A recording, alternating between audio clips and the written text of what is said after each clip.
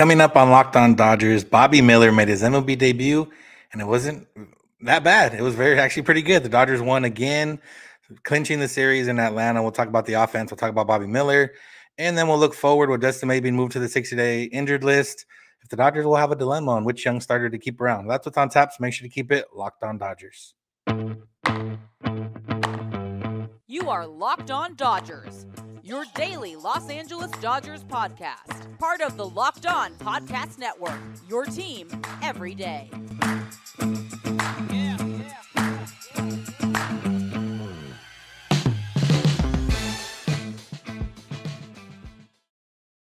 Yo, yo, yo, Dodger fans, welcome to Locked On Dodgers. We are part of the Locked On Podcast Network, the number one local sports daily podcast network. Locked On, your team every day. This is the daily podcast covering the Los Angeles Dodgers, bringing you the smart fans perspective on our boys in blue. Make sure to subscribe wherever you get podcasts and on YouTube. All you got to do is search for Locked On Dodgers and become a part of the exclusive group, the Everydayers, the people that listen every day. So go check that out or go subscribe now so you can be part of that group. If this is your first time listening or watching, one, you're seeing new graphics on your screen if you're on YouTube. And two, I'm Vince Samperio with my co host, Jeff Snider. We're both lifelong Dodger fans that have spent years covering the team. We've spent a lot more years being fans of the team. And we're not quite insiders, but we're here to bring you what we think is a smart analysis of Dodgers and everything surrounding the team. That's what we're here to do today. And that analysis today is going to be centered heavily around Bobby Miller, who made his MLB debut, went five innings, gave up just one run against the Braves, struck out five. And yeah, Jeff, we talked about every day as we'll remember. We talked the other day about you know, how come the Dodgers never seem to get a rookie that comes up and has one of those debuts, you know, six shutout or whatever it was? It wasn't quite six shutout, but five innings, one run against this Braves offense is not a bad consolation. Yeah, and he looked electric. His stuff was as good as advertised, and, we've seen it before. You know, he pitched. He started a game in the in the Freeway Series, what eh, last year, 2022. Uh, we've seen him pitch in the Futures game you know, if you're really die hard, you maybe even watched a game or two of his in the minors. Now that the minor league games are available on MLB TV, uh, yeah, Bobby Miller is he's not coming out of the blue, so we knew what to expect from him, and and he delivered. Uh, he threw 36 fastballs. The slowest one was 98.3 miles an hour. Uh, 33 of the 36 would have showed up on your TV screen as 99 or faster and uh, 19 of the 36 showed up as 100 miles an hour faster. Six of them were truly 100 or, 100 or faster, and then another 13 that were between 99.5 and 99.9. Just you know, electric stuff. And he's got four other pitches, and he got so uh, he got results on those pitches. He it was like about as good as we could have hoped for for a guy making his debut. The thing that I was most impressed with was he attacked the zone, and even though he did, he got too deep into a few counts, but he rarely backed down. Uh, even I mean, I think he struck out Matt Olson on like the eighth or ninth uh, pitch of an at bat. You know, it was a long at bat, and he still got the job done on a high fastball. Uh, only walked one guy, and so even though it took him ninety something pitches to get through those five innings, obviously the Dodgers are hoping for a little bit more efficiency next time through. But uh, all in all, about as good as we could have hoped for. Yeah, and it started a you know a bit of a mixed bag in the first inning. Dodgers put up a run. First pitch of the game, Ronald Acuna hits a hot shot, but right to third base. He gets you know one pitch, one out against Acuna. Uh, he said he could breathe a little bit after that. He ended up getting the next out on another ground out, and then gave up a hard single, then a hard double. And I think after that, he kind of realized, okay, these guys can hit fastballs. So I'm gonna have to mix in a little bit more. And he kind of, you know, that's what he started doing. He started mixing in a little bit more and moving the fastball around. And yeah, like I said, it was a nice poised start. His off-speed stuff showing up obviously was probably the biggest difference between him and Stone so far in their, you know, first couple starts is that you know Stone's changeup wasn't really working, and he doesn't necessarily have the fastball to kind of work around it, and didn't have an out pitch. Whereas Miller kind of moved stuff around, started seeing which what was working for him, mixed it up, and you know ended up finding some strikeouts there in the last few innings. Uh, I think the last 13 batters he retired, or last 14 batters he retired 13 of them. So you know he started cruising there in the middle, and yeah, he looked good. And and obviously it's his stuff's not always going to look this good, or and hopefully it does, but you know realistically not. But the fact that he has four different pitches to go to and they were all effective tonight means that it can all be effective in the future And it's one of those things where, okay, I don't have this pitch tonight. I got three other pitches, or I don't have two pitches tonight. I still have two pitches, and then I can use the other one to kind of, you know, get by. And that was kind of the biggest thing for me. Seeing it, and then obviously, yeah, throwing hard is is fun, and seeing the hundreds light up is always fun. And you know, he's still gonna he's still going to learn how to use his fastball a little bit differently and a little bit better. And he, you know, he, like I said, he started moving it around. Once he plays with it up in the zone a little bit more, that's probably going to be, you know, learning the high fastball is probably one of the last things you learn as a pitcher. Um, when you throw so hard and you've probably used to overpowering everyone, and when you get to the majors, you're not going to be able to overpower everyone. So you have to place everything well. Uh, but all in all, I mean, I can't complain for a first start. Yeah, that first inning I think was a learning experience for him. Like you said, uh, he allowed four hard hit balls in the first inning, only two the rest of the game, the last four innings he pitched. And uh, you know, the, like you said, there there were those three, the ground out and then the single, the double. All three of those came on 100 mile an hour fastballs, and all three of them left the bat at a lot more than 100 miles an hour. Uh, 114.3 on Acuna's ground out, 105.9 on Murphy's single, and 112.2 on Riley's double. Uh, and then you know, uh, Rosario's ground out to end the inning was 98.9. Uh, and then after that, he had uh, Marcell Ozuna had a 97.9 mile an hour flyout, but that was at a 48 degree launch angle. So it had a 0 10 batting expected batting average. So, you know, hard hit technically, but not well hit. And then a 96.2 mile an hour ground out by Sean Murphy. That a 310 expected batting average. So a little bit of luck there, but you know, it's kind of you, you figure Miller's going to get more efficient. Maybe not immediately. It, it may take some time. Um, it's it's kind of a running theme with young pitchers. I remember having this conversation between you and me talking about Dustin May back in 2019. You know, he needs to get an out pitch. He needs to, you know, finish counts earlier, either make him hit the ball or, you know, these foul balls can just drive you crazy. That really the Braves drove up the pitch count on a few long at bats. You know, like I said, yeah, Miller one inning was a 10 pitch at bat and then an eight pitch at bat. He got both outs, but yeah, yeah, but it, when you take 18 pitches to get two outs, you know, it, it's hard to have an efficient inning because you already didn't. And so, you know, there will come a time when either he will uh, be better at inducing weak contact or a little bit better at putting guys away. We can't necessarily expect that to come overnight, but I do think each start it'll probably get a little bit better uh, overall. You know, it, it's going to be one of those things where if you look at the the overall trend line, it's going to look good, but each individual one, there's going to be ups and downs. And and uh, you know, the good news is Dave Roberts said that uh, Bobby Miller is staying in the rotation for at least one more time through, and so uh, he'll make his Dodger Dodger Stadium debut for the third time uh, on Monday against the Nationals, most likely. I say for the third time because he did start against. Uh, he started in the Freeway Series last year and the Futures game, so it'll be his third start at Dodger Stadium, but the first time as a major leaguer. And uh, that should be fun. I, you know, I guess we'll see if I end up driving down. Uh, you know, I, I would definitely like to be there, but I, I, didn't fly to Atlanta for this game, so I don't know if I'll come down for for his first home start. But I'm excited that he gets another one, and you know, we're going to talk more in the third segment about you know what goes you know beyond that. But uh, I, I'm excited that he gets at least one more. Yeah, that, and that's a good sign because, like I said, if we we talked about it, he pitches well. You know, why not give him another one too? Especially considering that May and Julio are both going to be out for at least two times through a rotation. We learned Dustin May is going to be out for a lot more than that. He was placed on the 60 day IL. Like I said, we'll talk about that in, in a later segment on, on kind of what that means for the Dodgers. The other part too of this is, you know, shout out to Max Muncy. He made a lot of nice plays over there at third base. You know, that first one of the game, 114 miles an hour, like that's not easy to do. And you know, he handled it, made a couple other plays to his left, you know, really helped out. I saw Bobby Miller pitch once a couple weeks ago uh, in OKC, well, for OKC in El Paso. His defense let him down tremendously. He didn't pitch very well. Beyond that, uh, and the defense really helped him out. We saw, you know, Gavin Stones not hasn't been helped too much by the Dodger defense his first couple times through. So it was nice for the defense to come through, especially Max Muncy over there at third base, who, you know, we haven't talked about him defensively in a while because he's been playing pretty well overall, anyways. Yeah, Orel Hershiser made the point during the game that uh, one of the ways that it's actually easier to pitch in the big leagues is you have better defense behind you, and uh, you know, not always the case, but uh, it, tonight it definitely was for sure. And uh, you know, it also helped that the offense helped him out. Yeah. Segue alert. Yeah, there you go. Offense is next on, on our tab. Uh, Dodgers put up eight runs and four against Spencer Strider, four in the first two innings. We'll talk about what that means for Bobby Miller, what that means for the Dodger offense, and you know, kind of how it was one of those nights for the offense where the starting pitcher did what he was we thought he was going to do, uh, but the Dodgers were able to get to him anyway. So that's what's on tap. So make sure you keep it locked on Dodgers. Today's episode is brought to you by Rocket Money. And Rocket Money is right up my alley because I'm always signing up for subscriptions that, you know, seven day trial, 14 day trial, 30 day trial.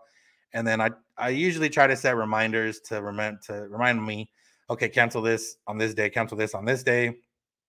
Sometimes I forget, sometimes I forget to put the reminder.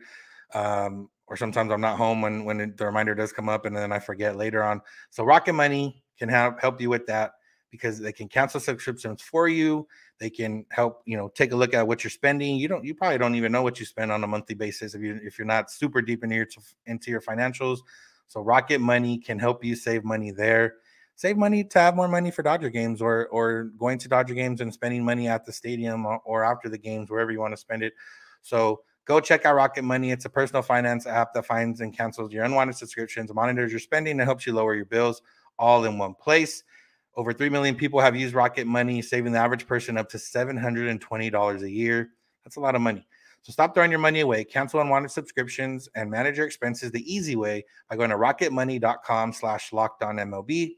That's rocketmoney.com slash MLB. One more time, rocketmoney.com slash MLB.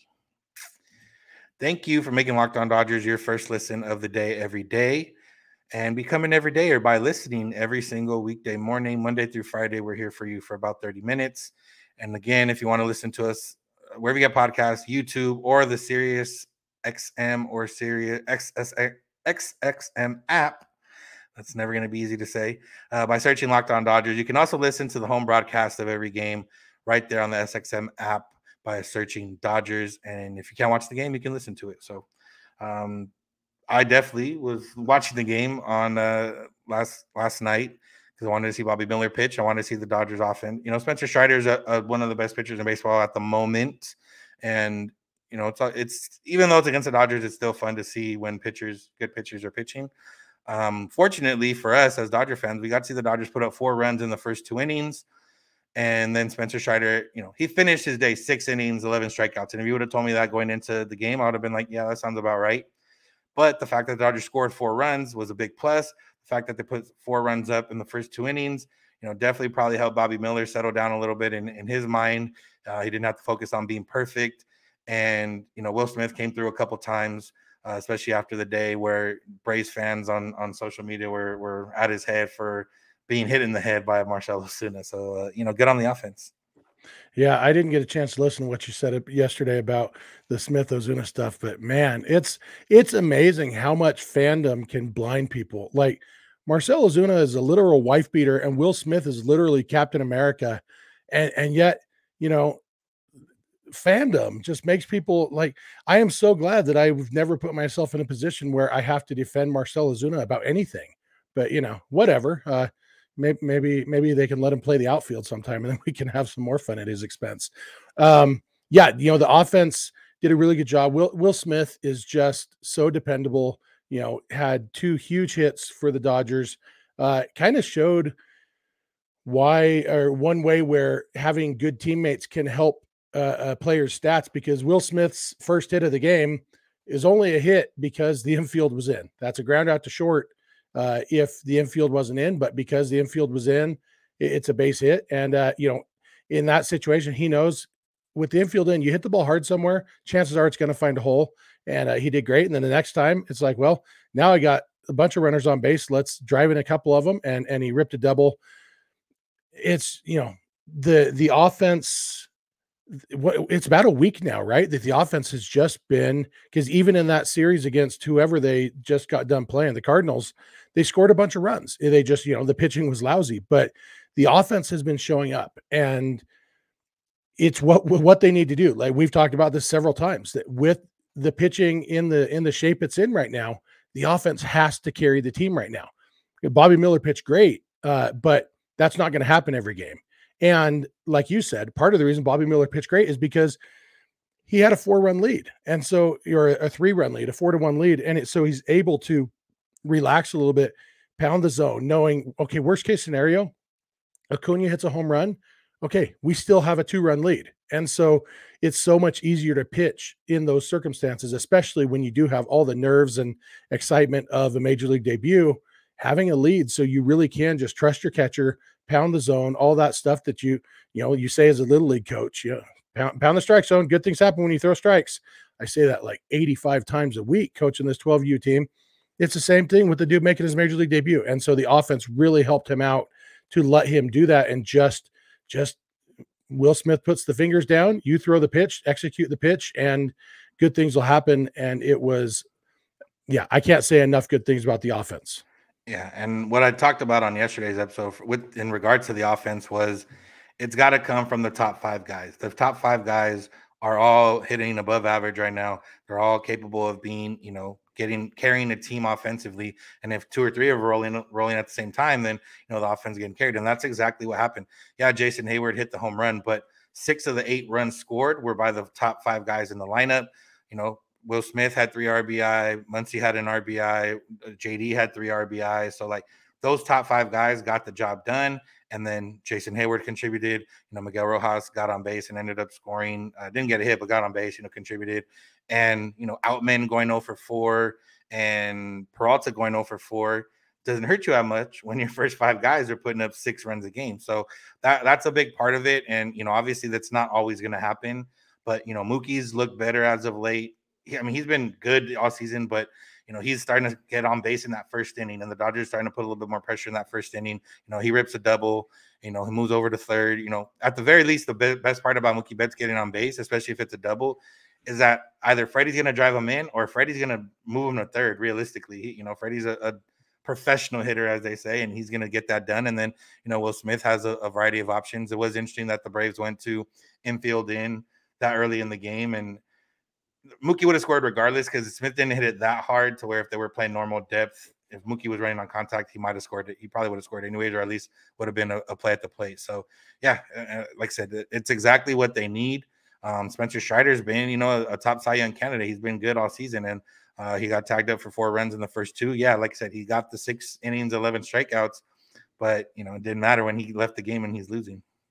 Yeah, and the other thing that the offense really did was capitalized on when they were given extra outs because those, you know, three of those runs were unearned against Strider because with two outs, uh, Rojas hit that grounder to to what's his name, Matt Olson, and he booted it. And then the Dodgers got what three or four straight base runners after that, uh, and so it's hard to, you know, the the error helped. The runs show up as unearned, but the Dodgers got to Strider that inning. It's you know when you give up four straight two out hits or three straight two out hits or whatever, you know what? You deserve an earned, earned run or two on your on your ledger for that because you know part of being a pitcher is being able to overcome your and, and that's why teams don't look at ERA as much as they look at you know things like WAR because WAR isn't based on earned runs; it's based on how well do you pitch. And you know the fact is when when you're an ace like Strider is, your team expects you to shut down an inning to pick up your first baseman. Two outs, one runner on base. It's like, okay, I know it's the top of the order, but you got to pick up your first baseman and do better than that. And the Dodgers offense didn't let him do that. It wasn't a failure by Strider. It was the Dodgers offense is really, really, really good, especially that top of the order. They hit the ball well and they didn't let him off the hook. They made Olson pay for the error. And that's what you have to do when teams, you know, teams are going to make mistakes, you're going to make errors, and the good teams capitalize on those and tack on a couple runs because of them. Yeah, and like you mentioned, with two outs, the Dodgers have the most runs scored with two outs. You know, Joe Davis and Orel and or whoever's on the broadcast kind of mentions every game. But that's because the Dodgers keep scoring runs with with two outs almost every single game at this point. So, yeah, great job by the offense. You know, they we talked about these next six games. They got to split them to us to kind of feel decent about it. They already have two of those three wins that they were going to need for that split to go for the sweep. You know, uh, uh, today they have a day off finally, and then they go to, to to Tampa Bay for the weekend. So, good job on the offense. And before the game, we learned uh, a couple things. We learned that Dustin May is going to go on the 60 day injured list, which means he's out to at least the end of July. And we and then after the game, we learned Bobby Miller is going to get at least one time through the rotation. What we're going to talk about next is if Miller has another start like he does today last night, and Gavin Stone has another, you know, mixed bag of a start. will the Dodgers have a decision once Julio comes back of who is that young pitcher that stays on the roster? So that's what's next. Make sure to keep it locked on Dodgers. Today's episode is also brought to you by Bird Dogs and Bird Dogs. Those those nice people at Bird Dogs sent us some shorts eh, or sent me some shorts. I think Jeff got them for his for his son. But either way, one thing Jeff uh, Jeff's son and I have in common is that we love bird dog shorts. They're comfortable, they are cool. You know, like I said, you can wear them to school. He I think he wore them to school. I wear them out when I you know going to the store or going to I went to a brewery last night.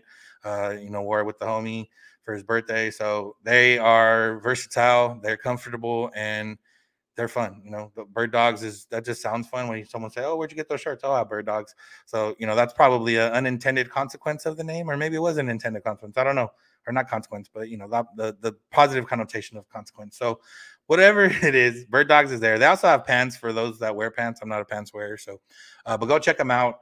They are great. They're comfortable. They have this liner inside, so if you're someone that I don't know, maybe you don't like going commandos, as they say uh, this kind of helps you out because they do have a, a liner in there, kind of like swim trunks uh, that make it really, really, really comfortable. I'm, I'm not a not usually a fan of that, but uh, I've got to say that these have turned me into a little bit of a fan of that. So, Bird Dogs, go check them out. And right now, if you go to birddogs.com slash locked on MLB and enter the promo code locked on MLB, they'll throw in a free custom Bird Dog Yeti style tumbler with every order. I also have that tumbler it's perfect. It's not, you know, it's not too big, not too small. It's perfect for keeping your drinks, hot drinks hot, cold drinks cold. Got the Bird Dogs logo on there so you can show off.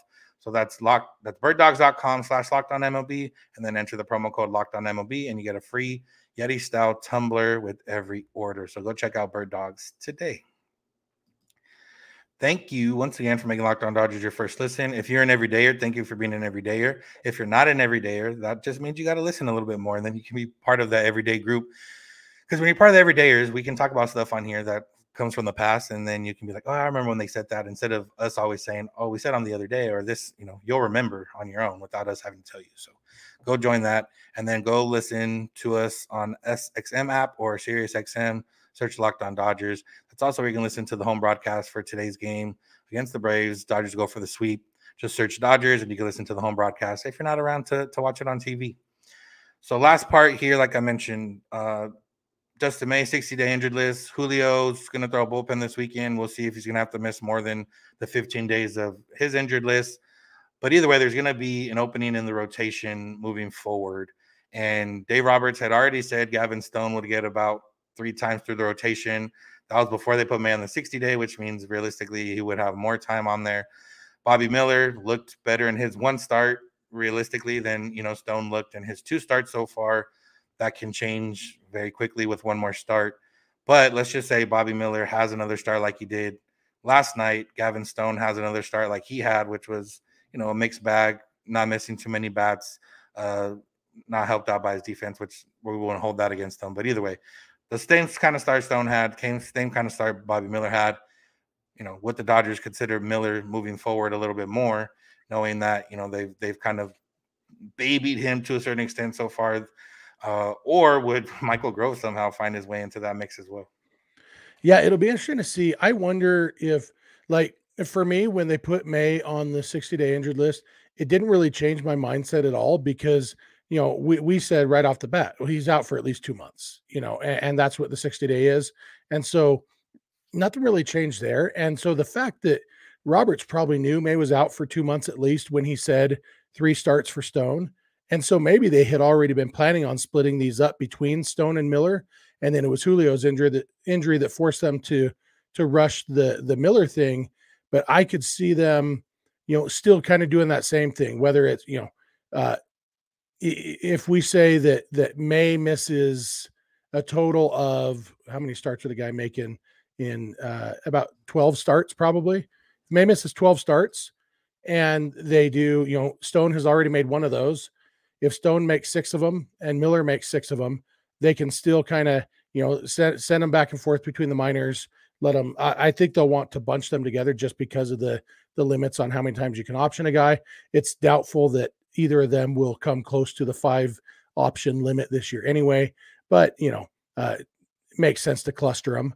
and so you know let let Stone go a couple times, let Miller go a couple times, and then you can rest them more in, in AAA. You know if you want to manage their innings or their, their workload or whatever.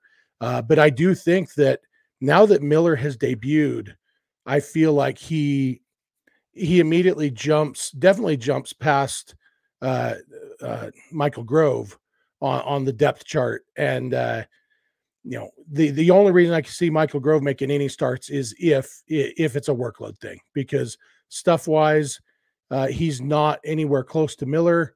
Uh, he's not close to Stone, and uh, you know, and like I said on yesterday's episode, Stone needs to pitch in the big leagues to learn how to pitch in the big leagues, and that's one of the hardest things about being a young pitcher is there are certain lessons you cannot learn in AAA. And so I think the Dodgers are going to be committed to letting both Stone and Miller learn those lessons that you can only learn in the big leagues and trying to do that in a way that still allows the team, you know, to be successful. And most of that will come down to the offense a lot of the time. Uh, but I, I, expect them to kind of split May's May's starts. And this is all assuming that Julio comes back healthy because or or that or that everyone else, else stays healthy. that somebody else doesn't get hurt. You know, you know, Syndergaard's finger doesn't fall off or whatever. The the fact is, we joke a lot, but uh, mo- like most jokes, it's rooted in truth that these decisions are usually made by by uh, Mother Nature or Mother Injury or whatever you want to call it. Yeah, and you know Kershaw hasn't pitched a full season in like six seven years, so realistically, even if he does stay healthy, like do the Dodgers want Kershaw making 30 starts? Probably not. So at some point he might get either skipped, skipped, or you know, phantom IL, whatever the case is.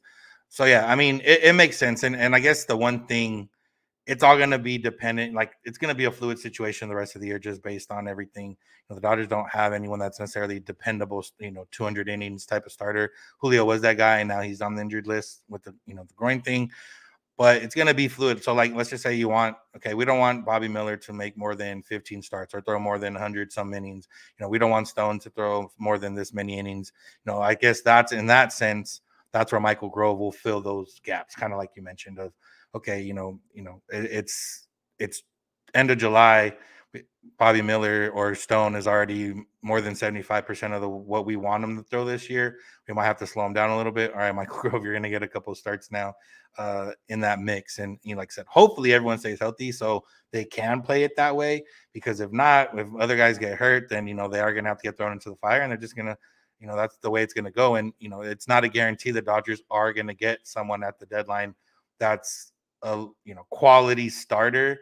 They're gonna try, but it's not necessarily that one they're gonna be available. Two, it's gonna be something the Dodgers want to pay for, considering there's a lot of teams that are gonna be desperate this year to try to, you know, find their way into the playoffs and and try to catch a run like the Phillies made last year and like the Braves made the year before. So it's a different dynamic. Before the Dodgers could make all these deadline deals, and you know, realistically, it didn't cost them that much, especially for people that they you know would usually target guys that were going to be free agents in the offseason. That's not necessarily the case now, and you know, the Dodgers do have guys that are probably better than a lot of these pitchers they might go after that might be available at the deadline, you know, with Miller and Stone, depending how they, you know, progress throughout this season. So there's a lot of question marks, but you know, it's hard to speculate, like you mentioned, because realistically, it'll kind of figure itself out the way it go, the way it's been going for the for the Dodgers this season and in years past.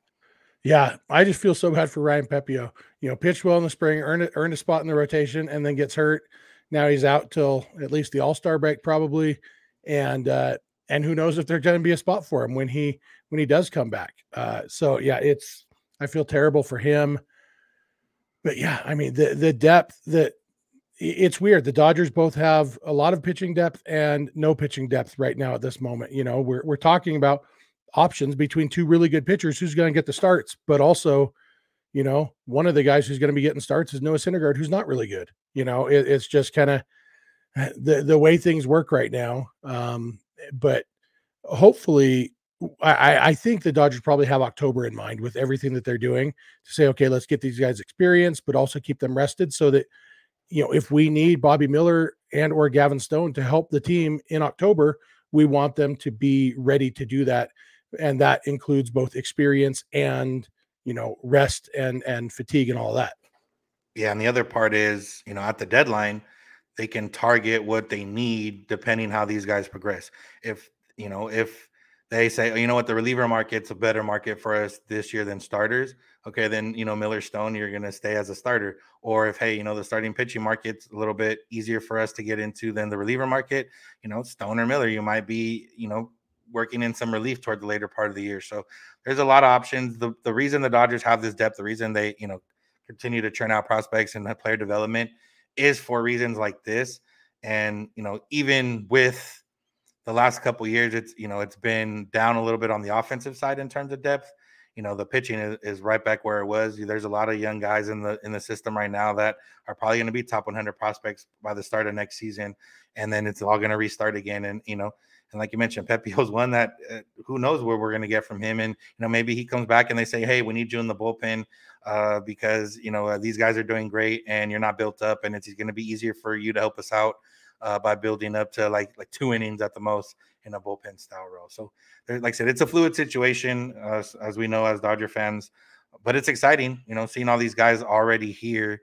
You know, I didn't think Bobby Miller would get a start before May and and before the month of May, not before Dustin May, uh, and it ends up being a little bit because of Dustin May and Julio. So that's how it goes. Yeah, absolutely. All right, Jeff. Anything else before we head out? Uh, who's pitching for the Braves today? Um, I know Gonsolin's it's pitching for the not Dodgers. a some. Uh, it is. I forget his name. He's uh Elder Okay. Um, what's his name? Bryce. Bryce Elder. Okay. Uh, it just sounds like a dude. His name would be Bryce, I guess. Um, yeah, white people problems. Um, Um, 206 ERA and nine games started. okay. So yeah, probably pretty good. But the Dodgers have beat the the two guys who I think coming into this series, the Braves were thinking, okay, well, we should win those first two games. Uh, you know, rookies against our two big guns, and then you know, will game three will be the one that's the battle. And so hopefully Gonsolin can can continue to pitch well, and the offense can continue to you know hope they can bre- treat Bryce Elder like the Bryce Elder he is. Uh, let's get a sweep here because then you know we've already guaranteed at least the split of the rest of the series, and uh, uh, the and then we can you know get greedy against the Rays and try to win that series too. Uh, yeah, you know, offense. Hopefully they can show up because it's been it's been fun to watch lately. Yeah, definitely. All right, that's gonna do it for today's episode. Thank you all for listening. Thank you for making Locked On Dodgers your first listen. Come back tomorrow and we'll talk about this game. Tony Gonsolin versus Bryce Elder. Dodgers going for the sweep. You can remember you can listen to the game, the home broadcast on SiriusXM or the SXM app if you search Dodgers. You can also find us on there if you search Locked On Dodgers. You can listen there. You can listen wherever you get podcasts. You can listen and watch on YouTube. There's a lot of ways to do it. So if you're not an everyday already, eh, you know it's a little bit, little bit of laziness on your part. There's a lot of different What's wrong to- with you? yeah, there's a lot of ways to find us, and there's a lot of hours in the day to to find the 30 minute whole, uh, you know, 30, 30 minute segment of your day. So go do that. Tell your friends and family about us. Tell other Dodger fans in your life about us. And remember, you can always find us on social media, Twitter and Instagram at Locked On Dodgers. Jeff is on Twitter at Snydog. I'm at Vincent91. DMs are open on all those accounts. You can also get a hold of us via email, lockedondodgers at gmail.com, or leave us a voicemail or send us a text at 323-863-5625. We're here every weekday morning, and we hope you'll be with us when you get in your car or if you're at home. Tell my advice pay podcast, Locked On Dodgers. And remember, you don't have to agree, you just have to listen. Have a good one. We'll talk to you tomorrow.